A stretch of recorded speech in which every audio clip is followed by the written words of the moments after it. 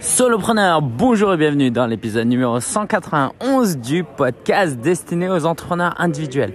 Aujourd'hui, je suis à Londres et il est 21h30 au moment où j'enregistre ça. Donc, bah, tu vas pouvoir tester à l'ambiance euh, de Londres, du moins d'une partie de Londres. Alors, je suis au centre-ville, et encore le centre-ville, c'est hyper grand. Donc voilà, si... Euh, je sais pas, ils ont pas des sirènes particulières comme quand j'étais aux États-Unis. Je pense pas que tu vas pouvoir entendre une ambiance particulière comme euh, à Nashville avec la musique. Euh, mais quand il y a des passants, comme là, j'ai limite envie de diriger mon micro vers eux pour que vous entendiez leur accent. Alors, euh, en tout cas, ça va pas être le focus de, de cet épisode. Cet épisode, on va parler des bonnes pratiques à utiliser sur les réseaux sociaux en 2020. Ok? Et en 2020, en réalité, pour euh, toute la vie, parce que, en fait, c'est des principes assez universels qu'on va voir là. Ok, donc comme chaque semaine, on aura la ressource de la semaine, l'actu de la semaine, et puis, et puis, bah, je vais te dire pourquoi je suis là, pourquoi je suis en train de marcher à 21h30 à Londres, pourquoi je suis pas chez moi? C'est parce que euh, j'assiste au Youpreneur Summit une conférence de deux jours avec Chris Ducker euh, ici à Londres. Et en fait, là, ça n'a même pas commencé parce que c'est demain que j'ai déjà euh, vécu plein plein de choses. Pour la simple raison que j'étais avec, euh, je suis venu avec Johan Techfac de Français Authentique que j'ai interviewé précédemment dans un épisode. Et bah, on a énormément discuté. Du coup, j'ai énormément appris. Et Johan, si t'écoutes, bah, c'était un super moment avec toi et c'est que le début. Alors, Aujourd'hui, donc, on va parler de, euh, on va parler de bonnes pratiques sur les réseaux sociaux. Je te laisse imaginer un peu. Je suis avec ma doudoune là, avec euh, mon euh, ma capuche. Sur, je suis sur mon iPhone, j'ai 10 000 applications d'ouvert, j'ai mon plan, j'ai dictaphone, j'ai ma mind map, j'ai mon calendrier et je peux que être reconnaissant de la technologie, de ce que nous offre notre époque. Voilà, je voulais juste partager ça. Allez, on y va euh, Les bonnes pratiques. Tout d'abord, j'ai envie de vous dire, publier régulièrement. Ça veut dire quoi régulièrement? C'est ça le truc.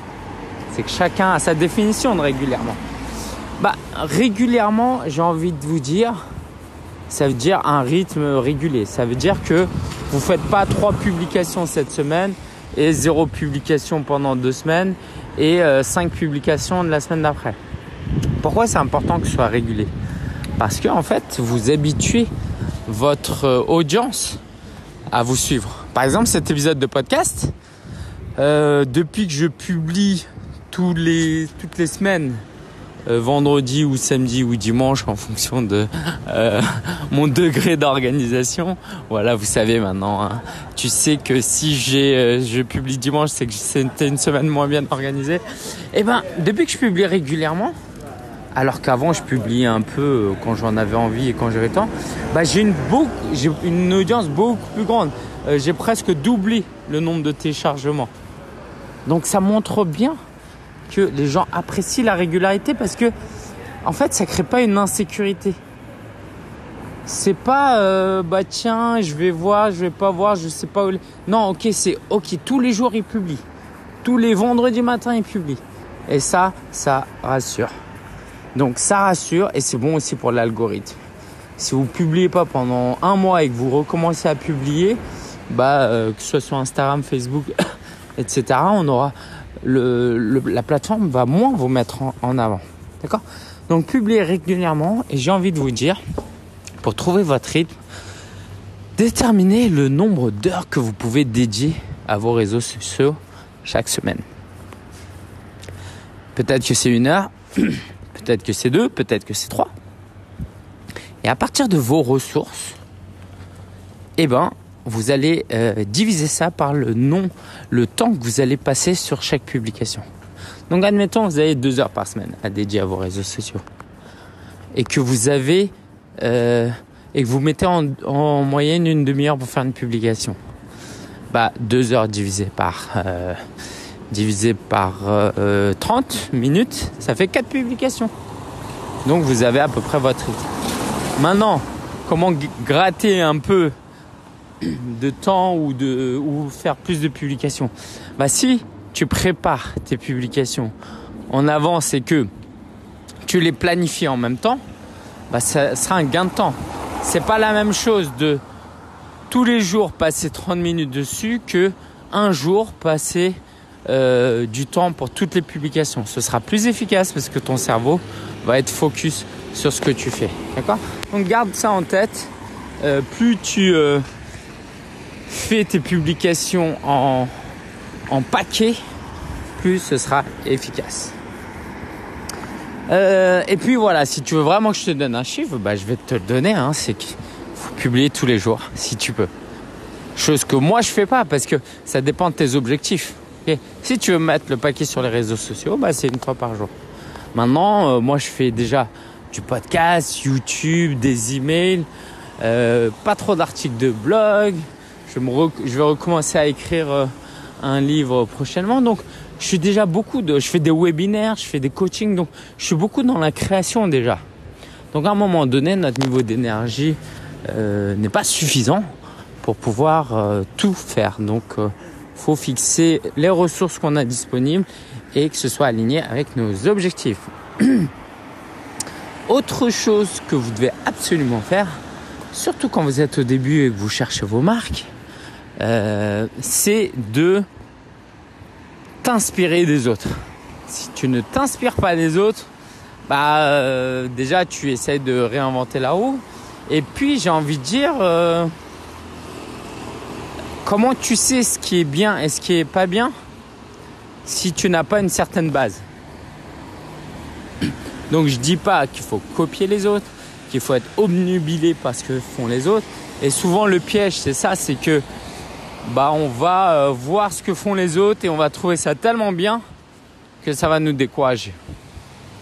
Que finalement on va se dire oh, mieux vaut ne pas publier parce que ce sera jamais à la hauteur. Souvent, j'entends ça de la part de mes clients. Oh oui, mais euh, faut faire des publications, etc. Parce qu'en fait, ils se comparent à des influenceurs ou à des personnes qui ont des centaines de milliers d'abonnés. Bah oui, mais c'est sûr que si tu es débutant et tu te compares avec quelqu'un qui a un million d'abonnés et qui fait ça depuis des années, c'est sûr que c'est décourageant. Donc, s'inspirer, mais de manière saine ça, c'est le deuxième conseil que j'aimerais te donner. Troisième conseil, c'est de mettre de l'humain. Si tu ne mets pas d'humain dans tes publications, c'est très froid en fait.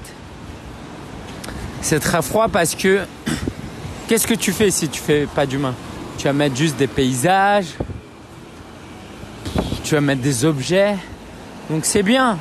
Tu vas mettre tes plats, ce que tu manges c'est bien, c'est déjà pas mal, c'est mieux que rien. Mais les gens, ils ont besoin de connexion.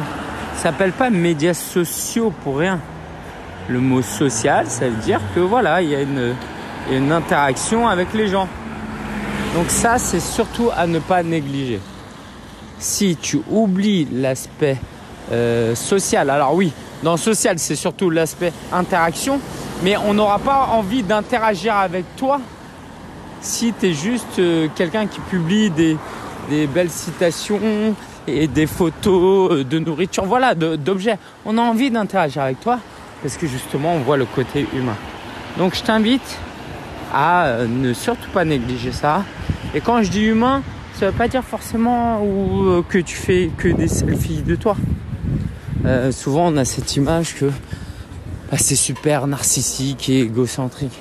Non, tu peux mettre des images de clients, des images de partenaires, euh, des photos d'autres personnes. Là, par exemple, je suis à un événement, je vais publier des photos de moi en compagnie de euh, d'autres euh, influenceurs que je rencontre. Donc ça, c'est important de mettre de l'humain. Quatrième conseil que je vais te donner, c'est de faire du storytelling. Storytelling, c'est l'art de raconter des histoires. Parce que les gens, ils aiment ça. Les gens aiment les histoires. Si je commence à te dire, hier, il m'est arrivé quelque chose d'incroyable, bah, tu auras envie de savoir de quoi il s'agit, n'est-ce pas? Parce que nous, les humains, on est des gens curieux. Et donc, il faut que tu assouvisses la, curiosité de ton public. Donc, pour ça, il faut mettre du storytelling. Et euh, parfois, tu as l'impression qu'il y a des choses qui sont inintéressantes, mais ça ne l'est pas forcément en fait pour ton public. Parce que pense un peu à tes relations amicales. Tes relations amicales. Alors là, je passe dans une rue où euh, il y a des maisons en briques, c'est super joli. Voilà, bon, il fait un peu nuit quand même. Euh, donc, euh, je vois pas très bien. Je suis à Regency Street. Ah, on entend la police. Quoi Je devrais pas me réjouir d'entendre la police. Attends. Bon, c'est parti. Alors, le storytelling, voilà, c'est vraiment important dans tout ce que tu fais. Si tu ne mets pas d'histoire, tu ressembles, j'ai envie de dire, à un, prof de quoi? Quelle matière? Un prof de physique, voilà. Un prof de physique qui donne juste des formules. Un prof de physique chimie qui te donne juste des formules. Non, il faut que tu ajoutes quelque chose autour pour embellir, pour donner euh, plus de, de contexte, plus de relief à tes propos. Cinquième conseil, 3, 4, 5. Oui, c'est ça. C'est d'ajouter de la variété dans le fond et la forme. Ça veut dire quoi? La variété, c'est que soit tu varies ce que tu dis. Par exemple, tu as une chaîne, euh, euh, bah justement, j'ai rencontré des entrepreneurs tout à l'heure euh, qui était spécialisé un peu dans les langues, bah, si tu enseignes euh, le chinois, admettons, sur Internet, bah, sur le fond, tu pourrais euh, parfois parler de d'une autre langue. Même si c'est une chaîne sur, le chinois, même une, chaîne YouTube, ou voilà, bah de, sortir un peu, de casser un peu le l'habitude que tu as mis chez les gens. Ça va les surprendre, c'est l'idée d'être original. Si c'est tout le temps la même chose, eh ben euh, les gens peuvent s'ennuyer, s'habituer. Donc en tant que bon marketeur, faut pas que faut pas que tu sois trop prévisible. Voilà. Donc tu peux les surprendre sur euh, le fond. Euh, quel exemple je pourrais te donner? Par exemple sur ce podcast typiquement Parfois, je te parle d'état d'esprit. Parfois, je te parle de marketing. Là, je te parle de médias sociaux. Euh, quelquefois, je vais te parler de quoi? Je vais te parler de choses plus personnelles. Donc, je change sur le fond. Mais tu peux aussi changer sur la forme. Sur euh, Instagram, par exemple, tu pourrais tantôt publier des photos, quelquefois des courtes vidéos, quelquefois des citations en images, quelquefois des carousels de publications. Euh, donc tout ça, ça contribue justement à quoi? À maintenir en fait euh, un sentiment de fraîcheur, de nouveauté, d'originalité. Et ça, c'est hyper, hyper important dans une époque où clairement les gens s'ennuient assez rapidement et euh, si tu n'arrives pas à accrocher l'attention de ton lecteur avec un peu de storytelling et un peu de nouveauté, bah tu les perds prochain conseil, c'est d'être engageant. Engageant euh, dans la définition des médias sociaux, ça veut dire que euh, tu crées de l'engagement, tu crées de l'interaction, que ton contenu donne envie de discuter avec toi, de commenter, de liker, de réagir. Ça, c'est vraiment important pour bah, deux raisons. La première, c'est parce que ça va euh, te permettre d'approfondir tes liens avec tes clients, avec tes prospects. Donc plus il y a un lien qui se fait, plus il y a une interaction, et plus il aura envie d'acheter chez toi si ton but c'est de leur vendre quelque chose. C'est normal. Par exemple, imagine tu es vendeur dans une boutique. Bah, plus un client te pose des questions, touche les vêtements.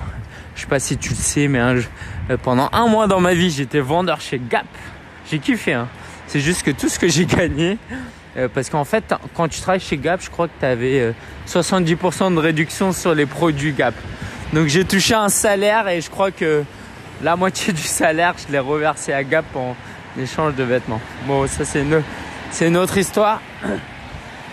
Mais ce que je voulais dire, c'est que... Euh, euh, désolé, je suis encore un peu malade. Ce que je voulais dire, c'est que c'est important d'être, de chercher l'engagement. Donc quand tu publies, c'est pas simplement voici ce que je mange, voici ce que je fais, voilà, je suis beau, je suis intéressant, mais bah qu'est-ce que vous vous est-ce que vous êtes végétarien Si par exemple vous êtes végétarien, euh, qu'est-ce que vous aimez manger?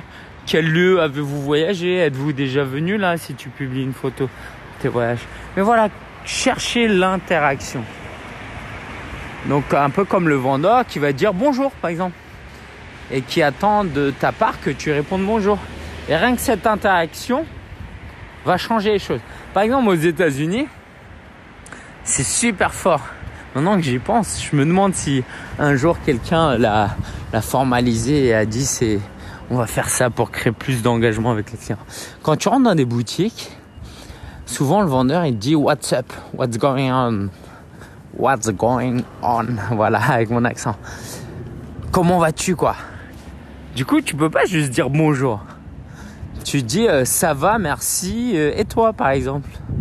Ok? Et donc, comme il y a une question, ça provoque un certain engagement. Et bah, ça crée une certaine proximité avec le vendeur, alors que en fait, euh, tu vous connaissez que depuis une seconde. Et euh, bah, ça améliore les probabilités de la probabilité que ta communauté devienne client. Donc, chercher à engager, c'est bon pour créer un lien avec le prospect pour qu'il devienne client, mais c'est aussi bon pour l'algorithme. En gros, quand tu publies quelque chose, c'est Facebook, Twitter, Instagram, LinkedIn qui décident si tes abonnés vont voir ton contenu ou pas et dans quelle mesure. Et donc, si tes publications sont euh, régulièrement likées et commentées, et eh ben, ils vont être mis en avant par euh, euh, ils vont être mis en avant par ces plateformes. Donc, si, si tu poses régulièrement des questions et qu'on te répond, faut pas le faire trop souvent et de manière un peu pas naturelle. Hein. Bah, en fait, Instagram va dire tiens, ce gars-là, il a peut-être que 100 abonnés, mais à chaque publication, il a au moins 5 commentaires. Et bah, tu sais quoi, on va le mettre un peu plus en avant. Tu vois l'idée? 1, 2, 3, 4, 5, 6. voilà, ce sont mes 6 conseils. J'ai envie de vous donner un conseil bonus. Un conseil euh, qui fera la différence et que pas beaucoup de gens utilisent. C'est un peu subtil, ça peut vous paraître, euh, peut paraître vague un peu comme euh, conseil, mais en même temps, si tu comprends le truc et surtout si tu mets en application et que tu arrives à le à le développer. Ah là, il y a des gens un peu bourrés là. Je vais, je vais ralentir juste pour que vous entendiez un peu.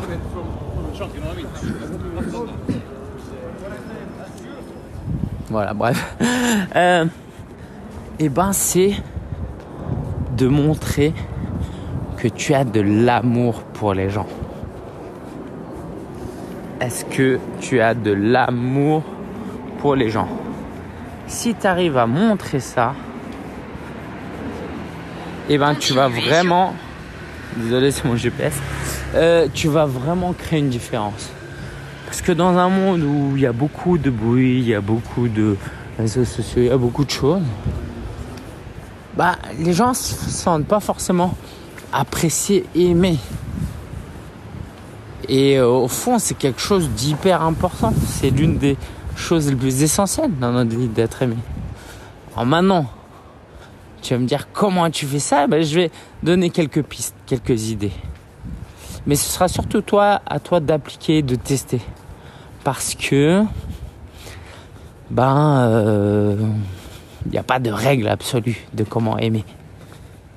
Tu sais quoi, je vais, je vais en profiter pour te faire un petit aperçu des, langages de l'amour. C'est un livre de Gary Chapman euh, que euh, j'ai étudié quand, quand j'étais plus petit dans le cadre de, l'église. Un jour, une fois, durant un, un camp d'été, on a parlé de ça. En fait, pour aimer quelqu'un, il y a cinq langages. Ces cinq langages sont les paroles valorisantes. C'est-à-dire quand tu dis à quelqu'un des compliments, pour faire simple, tu valorises quelqu'un à travers des paroles.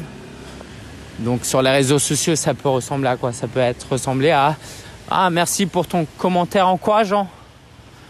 Ou euh, quelqu'un qui te félicite Ah bienvenue dans la communauté. Ah trop cool, je suis allé voir ton profil, c'est sympa ce que tu fais. Donc c'est montrer de l'amour à travers des paroles d'encouragement. Et ça, c'est hyper précieux. Donc, tu peux toi aussi aller sur les profils des autres et faire des commentaires. Tiens, bravo pour ça. Ça, c'est cool. Merci, tu m'as aidé. Parce que tu vas valoriser les gens ils vont se sentir aimés par ton commentaire. Donc ça, c'est une chose que tu peux faire. Deuxième euh, langage de l'amour, c'est le toucher physique. Alors ça, ça va être un peu difficile à travers les réseaux sociaux c'est bah, par exemple une bonne tape dans le dos, un bisou, une caresse, voilà. Tu comprends euh, le principe.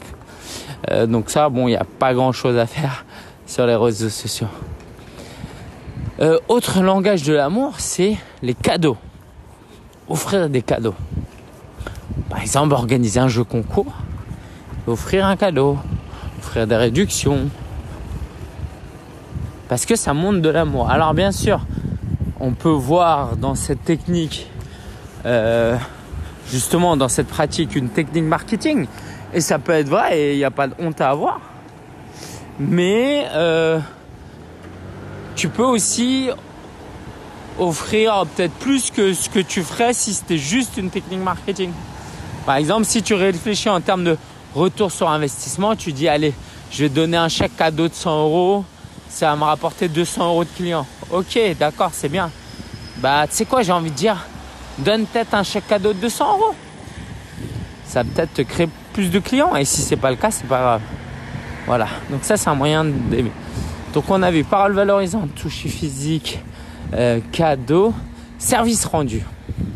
Service rendu, c'est bah, de rendre un service. Par exemple, en message privé, on te pose des questions, bah, d'y répondre. Et euh, bah moi au début je le faisais beaucoup. Maintenant si tu m'envoies un message direct par exemple sur euh, Instagram principalement parce que les autres réseaux sociaux je, je, suis un peu moins je réponds un peu moins. Bah en fait je vais si je te réponds bah tu auras l'impression que je t'aurais aidé, que je t'aurais rendu un service. Et c'est une manière de te montrer que j'ai de l'amour pour toi.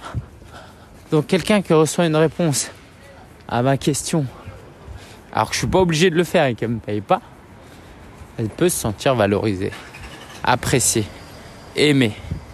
Et ça fait la différence dans la vie de cette personne. Tu vois l'idée? Puis le dernier, c'est les moments de qualité. Ça, c'est pas évident, mais les moments de qualité, c'est-à-dire va passer des moments avec quelqu'un de manière qualitative et avoir un pur focus sur cette personne. Ça, ça peut se faire en message privé, par exemple, sur Instagram. Quelquefois, il y a des gens qui m'écrivent, je réponds. Puis quelquefois, je prends, euh, j'utilise la messagerie vocale et je laisse un message. Donc c'est pas la même chose que, par exemple, d'aller au ciné avec quelqu'un, de prendre un café avec quelqu'un, euh, de faire un week-end avec quelqu'un. Parce que de toute façon, tu vas pas faire ça avec euh, toute ta communauté. Euh, même si tu peux faire des événements, par exemple, quand j'organise la rencontre solopreneur, c'est dans cette démarche aussi que je le fais, c'est de passer des moments qualité avec ma communauté. Et bien sur les réseaux sociaux, à travers les messages directs, tu peux faire ça. Voilà les cinq langages de l'amour euh, que tu peux essayer d'appliquer sur les réseaux sociaux. Donc, surtout, là, il y avait un peu de, un peu de, théorie, quelques exemples. Mais si tu pratiques pas, ça va pas te servir. Donc, essaye de pratiquer un peu ce que je t'ai dit. Et puis, bah, dis-moi des nouvelles. La ressource de la semaine. c'est WeCollect. C'est une application mobile de WeTransfer. Alors je sais pas si elle s'appelle WeCollect sur Android, mais je pense que oui, il n'y a pas de raison. Et donc c'est euh, le WeTransfer, mais via mobile. Et ça sert à quoi?